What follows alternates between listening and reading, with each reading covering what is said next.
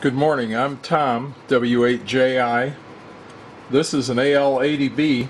I designed this amplifier and many other amplifiers over the years. This amp has a, a tuning aid called the TOF, the TOF.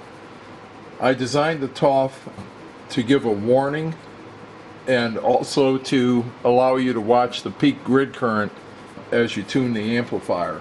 The um, so it'll disconnect the amplifier if you run too much grid current, and it also it also gives you a warning light that tells you when you're approaching too much uh, grid current. While this amplifier has a thoriated tungsten filament tube in it, like the 811 and a lot of other directly heated tubes do, and these tubes aren't damaged very easy by the grid current. Um, the, the people worry about hurting the tube with grid current, but that's that's pretty much not going to happen. What the grid current does in a thoriated tungsten tube is it causes the amplifier to flat top or saturate and splatter, and it also makes the tank voltage far too high, so you can cause an arc in the tank circuit. So th those are the real worries with too much grid current in a thoriated tungsten tube. Tubes like the 3CX800 or the 8877 the metal oxide cathode tubes, they'll have the ones that take a long time to warm the filament up are very sensitive to grid current. So they can be damaged pretty fast by grid current. So they should all have grid overloads in them no matter what. They should have something in the amplifier that disconnects the amplifier and makes it inoperable if the grid current gets too high. Even on peaks, even just on peaks, not even on average current. So let's tune this amplifier with the TOF module. It'll be a little bit different than tuning an amplifier without this module in it. With a tuning pulser, the amplifier won't overheat. Um, the average the average power will be very low, but you can still tune for peak power. So let's tune this amplifier. I'm going to put it on 40 meters and just mess up all the adjustments and not even get to a good starting point and I'm going to drive this thing with full power. So I'm over, I'm actually over 100 watts of drive power right now on the uh, on the amplifier. And I'm not going to worry about it because I'm using a tuning pulser and I'm also using a TOF module. So I turn the amplifier on operate and I see I've got a little over 100 milliamps of, of uh, peak grid current and 75 milliamps of average anode current. And I start to peak the plate first and see the output power here is going up as I peak the plate. It's up to 200 watts now, 300 watts, and the grid current's starting to climb. It should go up rapidly when the output power stops going up rapidly. You see this red light right here?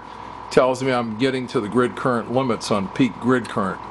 And there it shut off. It shut off uh, because of the automatic overload feature. Let's reset it once. See it goes right back off again because I have too much grid current.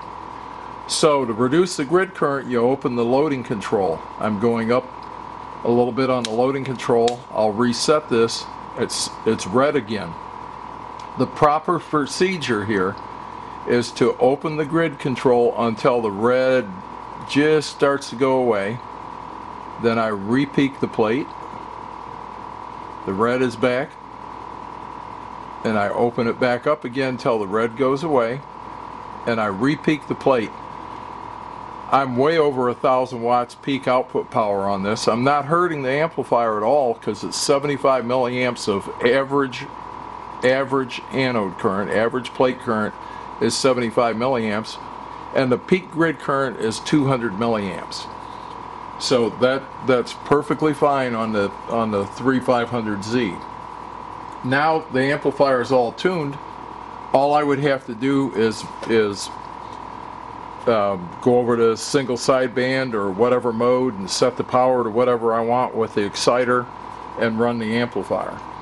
Uh, let's let's look at how easy this is to change bands with it with this uh, module in here. I'm going to put it on 20 meters. I'm going to change the exciter to 20 meters. And now, without retuning it from 40, I'm just going to turn it right on. And then, again, I peak the plate. And there we go. This just happened to wind up okay. I'm trying to go right at 200 milliamps of, of peak grid current um, with this drive power. Now, if I hosed up the loading and had too much loading, you see the red light starts to come on, and there I made it trip out. So if I try to reset it, it just goes right back off. So the the when it does that, you just open the load control up a little bit, and then you turn it on, and it's back it's back in operation. See, as I peak the plate, the grid current peaks, and the output power peaks.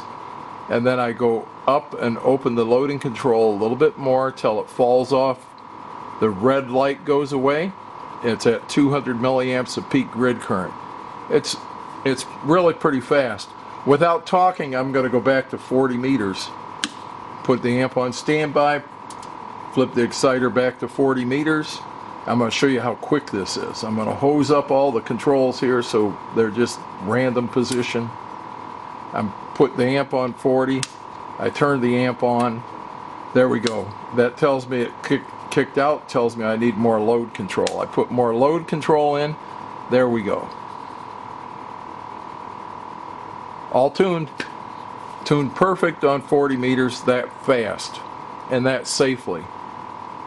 Thanks for watching this video. I hope to do more videos.